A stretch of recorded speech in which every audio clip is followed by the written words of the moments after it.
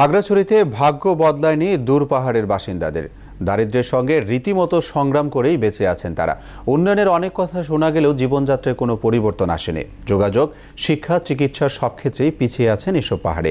দুর্গম গ্রামগুলো ঘুরে প্রতিনিধি তমাল দাস লিটনের পাঠানো তথ্যচিত্রে রেজন করিমের ডেস্ক রিপোর্ট। প্রকৃতি তার রূপ ও ঐশ্বর্যের সবটুকুই উজাড় করে দিয়েছে খাগড়াছড়িতে। আকাশ ও মাটির অপূর্ব মিলন মেলার পাশাপাশি এখানে রয়েছে পর্যটকদের জন্য আকর্ষণীয় নানা স্পট। কিন্তু এর বিপরীত চিত্রটা সম্পূর্ণ ভিন্ন। জেলার নাথাপাড়া, রাইন্নাপাড়া, কলিপাড়া ও লম্বাছড়া সহ রয়েছে পঞ্চাশটিরও বেশি প্রত্যন্ত পাহাড়ি পল্লী। দুর্গম যোগাযোগের কারণে এসব এলাকায় এখনও পা পড়েনি সরকারি কর্মকর্তা বা জনপ্রতিনিধিদের। পৌঁছায়নি সরকারি সুযোগ সুবিধাও। কোনো রাস্তা না থাকায় পাহাড়ি গ্রামগুলোতে যেতে হয় ছড়া বা গভীর জঙ্গল পেরিয়ে।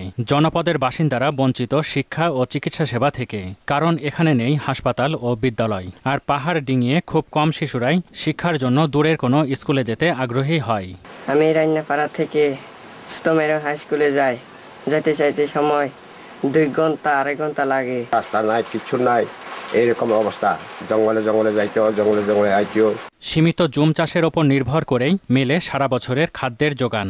আর টিউবওয়েল না থাকায় ছড়া বা কুয়ার পানি একমাত্র ভরসা এসব পাহাড়ির। টিউবওয়েল ঠিক মতো নাই আমরা সরার পানি খাই কুয়োর পানি খাই। কুয়োর পানি খেয়ে তো অনেকে রোগ আক্রান্ত হয়। প্রান্তিক আদিবাসী জনগোষ্ঠীকে জাতীয় স্রোতধারায় সম্পৃক্ত করতে বিশেষ পরিকল্পনা গ্রহণের পরামর্শ সচেতন বাসিন্দাদের। উপজেলা পরিষদ তার সামর্থ্যের ভিতরে চেষ্টা করে যাচ্ছে এই সব জনগোষ্ঠীদের দুর্গম এলাকায় কাজ করার জন্য। Rezwan Karim Mohona national desk. নিচ্ছে বিরতি সঙ্গে থাকুন ফিরে সারদা থাকছে।